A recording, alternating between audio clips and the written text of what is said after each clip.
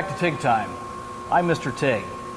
And today we're back at Cowley County College where I've got Bob Moffatt, the head instructor of the school. Now we're doing some pipeline style welding. We're going to be using some processes that I'm not terribly familiar with, so I have solicited Bob's help in this. And we're going to be welding uh, some type of a steel pipe here. So, uh, Bob, what, what diameter is this? This is uh, 8 inch standard wall thickness of carbon steel pipe. Okay. Now, where would this be used in the industry? This would be used in refineries predominantly. This particular process and procedure would be used in petrochemical. Okay, so your curriculum teaches this on a standard basis? Yes. Okay. Well, I notice you've got a big gap in here, and we're getting ready to do a root pass. And the root pass is not TIG, is that correct? That is correct. We're not we're we're, we're deviating from the standard TIG today. Sorry. well, I'm, I'm really jumping into the abyss here, so I, I'm going to ask you, what are you going to use for a root pass? We are going to use a short circuiting ER70S6 035 diameter wire. Okay. Uh, 7525 gas, just Okay. like we would use on carbon steel uh, for structural welding, but today we're going to use it on pipe. Okay, now that 75-25, is that 75% argon?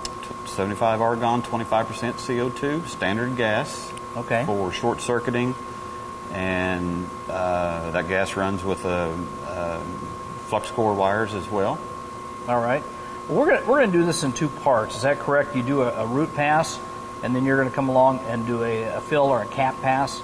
Yes. The uh, procedures written a long time ago. Um, I have some background in this particular process when I was contracting for Conoco. Um, we would do a lot of, of prefab in shop welding to knock out flanges to elbows, short pups, anything that we could roll, anything that we could position because the speed is so much faster than trying to fit this up in the field. You know, we're using a, a wire process which is way faster than stick welding. So, I noticed it's got quite a gap to it. It's been pre-tacked. It looks like in about three places. Is that is that correct? Is that normal? uh, three and four, I, I've left a section open here because I'm not going to start on this tack. If I did start on it, it would probably shrink and I would lose my gap, and then I wouldn't get my necessary penetration. Okay. So so what is your average gap right here? 530 seconds Okay. to 3 sixteenths. All right. Now I notice there's a little bit of a chamfer to it. Standard bevel is uh, in the piping industry for, for piping is 37 and a half degrees, plus or minus two and a half. Okay. So uh, what do you do now? You just get get your gear on, get ready. You've got a, a, a travel speed set up here. I've got a travel speed set. I may be adjusting it as I'm welding. Essentially, the way this works, uh, it's it's really quite simple. We're using the positioner to travel. My gun is going to be stationary over here at about 10:30, 11 o'clock, and the pipe's going to be turning away from me. Okay. So it's a you know a nickname is a, a rollout weld. All right. Uh, they're really kind of fun to do when you have everything set correctly, and everything is, you can just fly through these welds. All right. Um, you know, again, we are attempting to get 100% root fusion on the inside of the pipe. I may have to stop and feather some edges, starts and stops on these tacks. Um, we try to minimize our, our starts and stops. An option would be to put four large tacks in here, and when I say large, inch and a half, so that this thing doesn't move. Uh, if I grind them out real thin and I weld through them, sometimes I can get some shrinkage and closure. So by the time I end this weld, I'm it may be too tight, and I wouldn't get my my uh, root fusion on the inside. All We're trying to we're trying to get some reinforcement drawn to the inside, just like we did with the TIG, feeding the feeding the wire to the inside. We're trying to get the exact same thing. We want a little bit of reinforcement because when we put the second pass in, we're going to be welding pretty hot, uh, about 26 volts, and uh, I've got my wire feed speed set around 400 on this particular machine, and I didn't read the amperage. Somebody might read that for me. Okay. I I'm going to guess it's over over 260 on the amperage. So that's So- pretty hot, you know. And we're we're going to we're going to be melting. You know, if you film this from the inside on the second pass, that root pass would be getting cherry red on the inside, but we're not melting it to restructure it. Okay. Okay, so we're, we're um, the point is we're we're welding nice and hot, and that's to fill it up, and then we'll put one more pass on there for our cap. Okay, so this segment is just the root pass. Now, how long does that take? Once you get all set up, get your gear on, pull the trigger, how long will it be till we're finished with that root pass? We can time it. Um, if I stop and and grind my tacks ahead of my um, ahead of myself, I'm going to guess and say we can have this root pass in in less than five minutes. Great. Great. Well, let's. And and if I you know if I went ahead and ground all of these tacks and just made a continuous weld and trusted that they would fuse in, um, probably less than that. well, Bob, I'm your student, so uh, let's get our gear on and uh, show me what to do.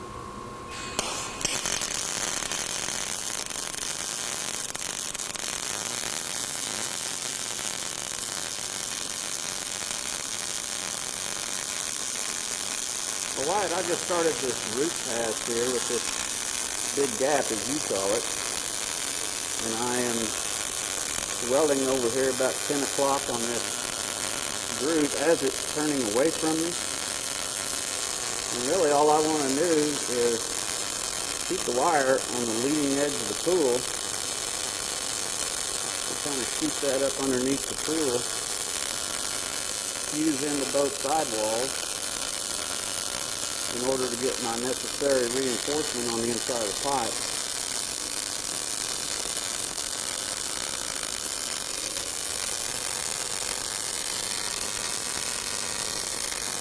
Looks like I might be losing a little bit of my my ground here the way this is fluttering.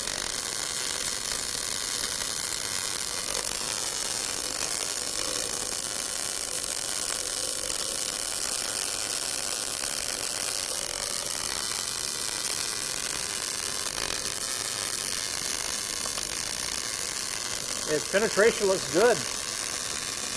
So I hold it in the pool here. I'm coming up on a tack that I've already feathered out. I'm running over the top of it. Now I'll just jump down on the leading edge of it. If I do this correctly, I stay in the pool, I don't have a problem. If I slip, then my wire shoots into dead airspace. And then if I just keep pulling the trigger, it leaves a piece of wire on the inside of the pipe, and that's not good.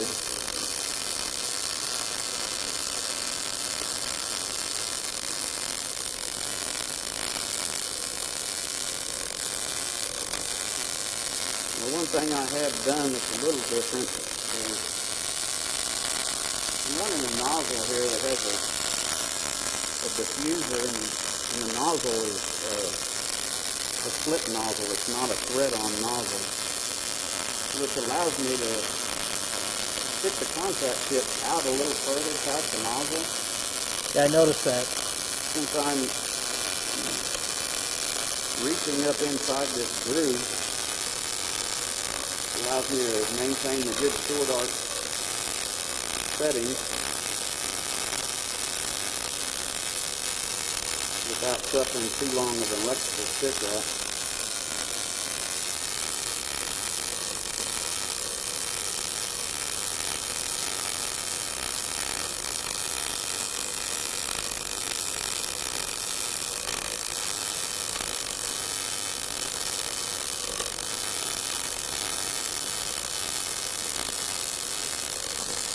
Get everything set just right and this weld goes in.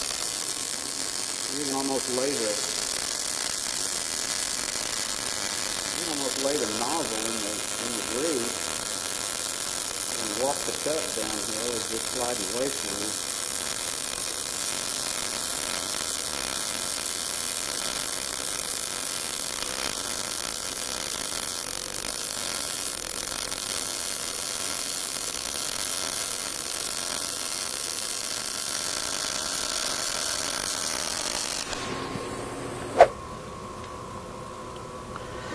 Well, Bob, it really looks good in here, and I was timing your weld and uh, roughly three, three and a half minutes, start to finish. Um, and I could hear where you went over your tacks, but uh, this root pass looks fantastic. Now, question I've got for you: Can you tell me what your settings were as far as voltage and wire speed and things like that? Uh, my volts on this particular machine were at 18.2, and my wire feed speed was set at uh, 225, and digital control. I don't know what the amperage. I'm thinking it was around 125 amps. Okay. Now, what happens if you have a flaw of some sort? Let's say you didn't penetrate, and you had a, a, a one-inch area that just didn't penetrate. How would you repair that? Okay. Um, good that you brought up the one inch area. I'm really only allowed uh, less than an eighth of an inch. So if I have a sidewall that's not fused, uh, first thing I need to do is probably look at it. Uh, if this this is an open pipe and we can see inside it pretty easily. If this was a flange and an elbow, uh, I'd only be able to see one part of the backside of the elbow. I wouldn't be able to see this inside part. So I would need to probably leave myself a window in here and take the light and look in here and make sure that I have fused all of my inside edges where my tacks were. Now, if I missed one, uh, I would take the light and, and see where it's at, and I would put a, a, a chalk mark out here with soapstone. Okay. And I would take a thin bladed grinder, an eighth inch grinder, and I would start thinning that weld metal down and also rebeveling it in that area. And I would probably do that a good inch on either side of the of the suspected void. Okay, so when you're when you're grinding, you you try to to punch all the way through in the No, prep? not necessarily. when Just you're, kinda when round you're it out? grinding, it, you know, you, you can ruin parts with a grinder. A lot of people don't understand that. I've seen I've seen people take a thin bladed grinder and they just grind right straight through this. Think about that for a second. All you're doing is putting a great big old thick root face on your pipe. Okay. You're not going to be able to fuse. Now, now you've just created a worse situation. Plus, if you grind all the way through your piece of pipe, even if you're rebeveling, a lot of times you leave some little razor thin burrs on the inside because we've actually welded over them after we've punched through and grounded through. We've welded through them. You shoot an X-ray of that. Your reinforcement looks fine, but now you have two razor blades lined up on your on your weld. You Well, left you so left what, the burr edges. What you're describing is it's not just welding. When you go to repair this, there's quite an art to it. Grinding it out and, and just doing it over and over, and I'm sure You- it helps you, a lot. You need to be your own inspector. You need to you need to understand the code, the procedure. You need to you need to know how to work with your tools to fix. You know, you need to be able to make repairs too. So, Okay. uh, let's say that we had a void right here where I start and stop. Um, I would take, you know, that's obvious where I stopped. Uh, I would take the thin bladed grinder, I would start and thin this out, and then I would start tilting the grinder blade back and forth. And if you watch this carefully, uh, you, you know when you're getting down there real thin, but it'll actually change colors, like it'll turn blue from being hot. okay. Also, if, if I suspected that, um, uh, let's say that I ran out of gas and I had some uh, pockets of porosity. Let's say I had a couple of them showing, but I also suspect some somewhere up in the bead somewhere, or even after a finished weld. I can go in here with a grinder, and if I do this correctly, I can just start shaving off uh, thin layers of weld metal with the grinder until I find that suspected pocket of porosity and I can grind that part out and re-weld it. Okay. Well, this is part one of two. This is the root pass, and uh, we're going to uh, we're going to do a little cleanup here. Uh, we're not. Bob is, and I want to thank uh, Bob Moffatt for volunteering to do this. This concludes part one of two. I want to thank you for watching TIG Time. I'm Mr. Tig.